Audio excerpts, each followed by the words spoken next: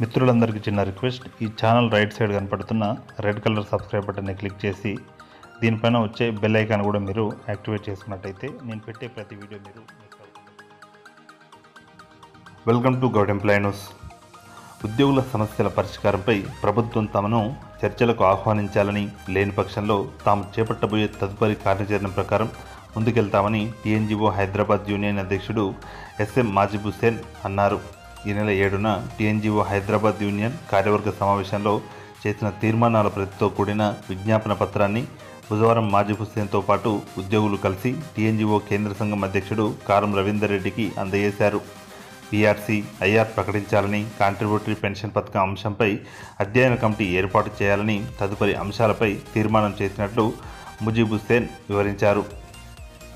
ఆయా సమస్యలను ప్రభుత్వం దృష్టికి తీసుకెళ్ళి పరిష్కారం అయ్యేలా చర్యలు తీసుకోవాలని కారం రవీందర్ రెడ్డిని కోరారు.